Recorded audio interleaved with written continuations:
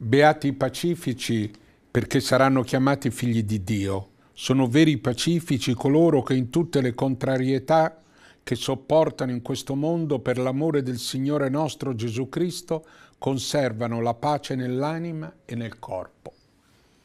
Io credo che questa ammonizione di Francesco, di frate Francesco sui pacifici sia particolarmente importante in questo nostro mondo. Io vorrei partire dalle contrarietà. Quando noi abbiamo in mente le contrarietà pensiamo a qualcosa di molto grosso, è vero, ci sono grandi e gravi contrarietà a cui sono sottoposte tante popolazioni del mondo, ma io direi che la nostra vita è una vita che ci contraria, è il quotidiano che ci contraria, la conflittualità continua con gli altri, dal parcheggio ai rapporti trascurati, dal traffico, dalla insoddisfazione nella vita. E a salire questa conflittualità che nasce dalla contrarietà nella vita quotidiana, che nasce nei rapporti fra le persone, con quelli che sono stranieri o tra i paesi o tra le civiltà e le religioni, guardarsi con occhi contrari, non guardarsi con occhi amici. La contrarietà è qualcosa di cui è imbevuto il nostro piccolo quotidiano, i nostri rapporti, ma è anche qualcosa che tocca eh, le culture, i paesi, le relazioni, la contrarietà. Io penso che rischiamo di soffocare di contrarietà e la contrarietà è un terreno bruciante su cui si sviluppano i conflitti. E allora beati pacifici, questa beatitudine che Francesco applica a quelli che vivono nelle contrarietà non le evitano, ma passano attraverso il clima della contrarietà e le sopportano.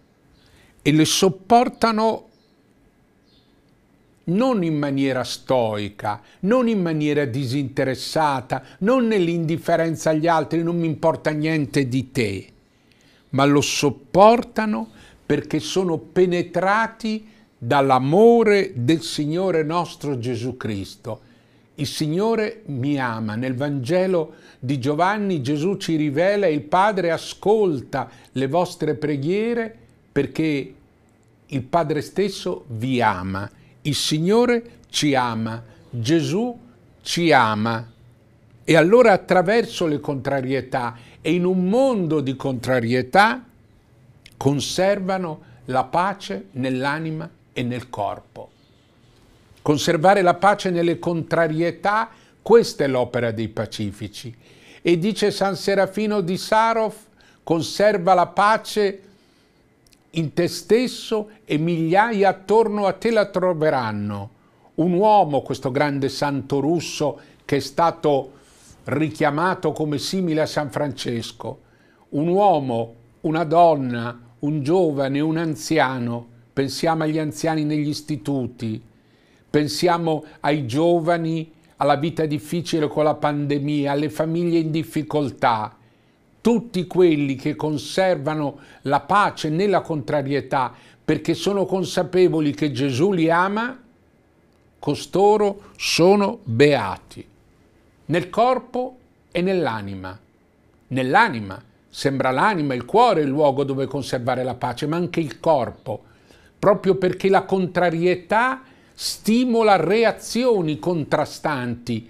Noi viviamo non in maniera pensata, non sul lungo periodo, non con uno sguardo largo, ma viviamo di reazioni. La nostra società è una società di azioni e di reazioni, di contrarietà contro contrarietà.